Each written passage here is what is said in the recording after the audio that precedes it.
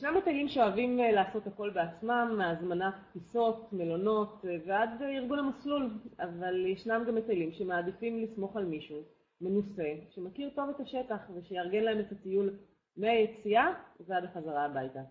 היום אנחנו נדבר עם נועם סגן כהן, מרצה ומדריך טיולים מאורגנים על כל הדברים שכדאי לדעת לפני שאנחנו יוצאים לטיול מאורגן. שלום נועם.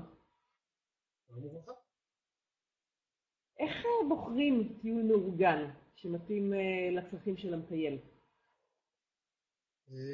תראי, למעשה כשאנחנו רוצים לבחור טיול מאורגן, יש כמה וכמה דברים שראוי וכדאי ומומלץ לבדוק לפני שאנחנו נרשמים, ממהרים להירשם.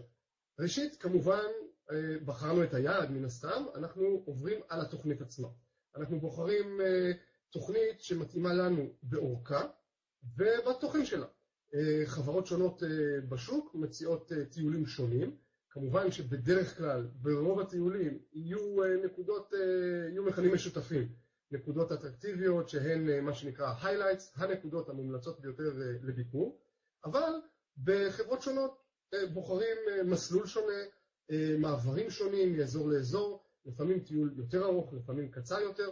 אנחנו למעשה צריכים ראשית, קודם כל להגדיר לעצמנו מה אנחנו מחפשים ומהו אורך הזמן שאנחנו מעוניינים להקדיש לטיול.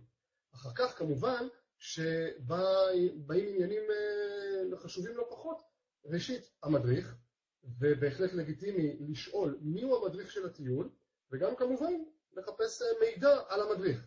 המידע על המדריך יכול להגיע גם דרך החברה עצמה, שתשמח כמובן להפנות את המטיילים הפוטנציאליים למדריך עצמו, כדי לשוחח איתו, כדי להתרשם ממנו התרשמות בלתי אמצעית, ישירה לחלוטין, וראוי וכדאי גם לעשות שיעורי בית לא דרך החברה, שהרי החברה תמיד תהיה אינטרסנטית וכמובן שתגיד לנו שהמדריך מצוין, אבל כדאי לבקש, ממליצים, כדאי כמובן לכתוב בגוגל את שם המדריך, לחפש מיהו, מהו, כמה ניסיון יש לו, כמה זמן הוא מדריך באזור הזה, האם הוא דובר את השפה המקומית וכן הלאה וכן הלאה. בדברים האלה כמובן אין טוב ממידע ראשוני, כלומר מידע ממטיילים שהיו עם המדריך בטיול ויודעים לספר באמת איך זה עבד.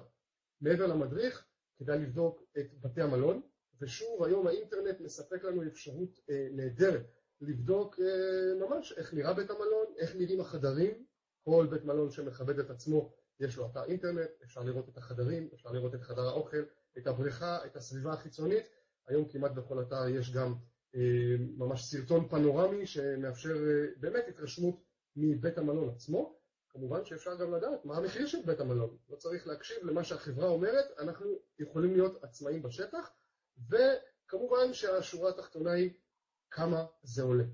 וגם פה יש הרבה מאוד הבדלים, והבדיקה הנדרשת היא בדיקה מעמיקה. כלומר, לא חוכמה להגיד, החברה הזאת מציעה טיול לדרום אמריקה ב-4,500 דולרים, והחברה השנייה מציעה טיול באותו אורך, אבל ב-4,000 דולרים בלבד. ההבדל הוא לא בכך שהחברה הזאת מרוויחה 500 דולרים יותר, אלא בהחלט יכולים להיות הרבה מאוד הבדלים בתוכנית הטיול, ברמת בתי המלון, בטיסות, בטיסות פנימיות, אפילו בשעה של הטיסות. לפעמים טיסת בוקר משאירה לנו את כל היום לטיול, ואילו בחירה לא נכונה של טיסות פנימיות יכולה לפגוע בתכנון אותו יום, או למעשה לבזבז את אותו יום. ולכן יש בהחלט טעם לרדת לפרטי הפרטים ולבחור את התוכנית שמתאימה ביותר לנו כמטיילים. היא עונה על כל הדרישות ועל כל הצרכים שאנחנו הגדרנו לעצמנו, ואין ספק שקודם כל צריכים להגדיר את הצרכים. כן, ברגע שכבר עשינו איזשהו תחקיר מסוים ואנחנו סומכים כן על החברה שמארגנת את הטיול, יש טעם גם לחקור ולהעמיק את כל ה...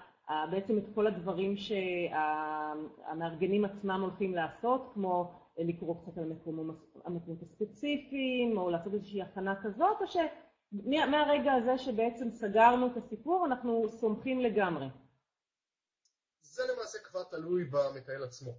אני, מניסיוני הארוך כמדריך טיולים בחוץ לארץ, מכיר למעשה שני סוגים של מטיילים, כמובן שבתווך יש קשת מגוונת בין זה לבין זה.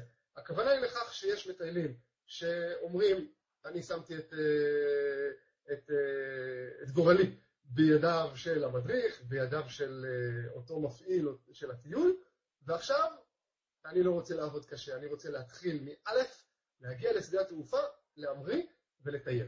ראש שקט, לא מעוניין לדעת שום דבר מראש. זה, בוא נאמר, קיצוניות מסוג אחד. קיצוניות הפוכה, מטיילים שמגיעים אחרי שעשו שיעורי בית יסודיים ביותר, הם ראו את בתי המלון באינטרנט ובגוגל מלמעלה, בתצלום לוויין, הם ראו את האתרים שבהם לבקר, הם קראו חומר על התרבויות העתיקות, על האתרים הארכיאולוגיים, על האקטואליה והפוליטיקה ומה קרה עכשיו, ובשבוע שעבר הייתה הפגנה, והם יודעים המון. בעצם, בתווך ביניהם, כמו שאמרתי, יש קשת גדולה שהיא בעצם רוב רובם של המטיילים, אבל בשורה התחתונה זאת החלטה של המטייל. יש כאלה שאוהבים לבוא מוכנים יותר, ויש כאלה שאומרים, אני בא, איך אומרים? טבולה ראסה, אני בא ומתחיל פשוט מא'. שתי האופציות, מבחינתי כמדריך, קיימות, ואני מבחינתי נותן מא' ועד ת', כמובן שיש כאלה שאולי אני אחדש להם רק מהמשפט השני והשלישי ולא מהמשפט הראשון, אבל אין ספק שאנחנו כמדריכים שמכירים היטב את היעדים ואת החומר בנושאים שונים, גם למטייל שהכין את עצמו אנחנו יכולים ומוסיפים הרבה הרבה הרבה, וזה בעצם הערך המוסף של טיול מאורגן. יופי, נועם סגן כהן, תודה רבה. תודה רבה לכם.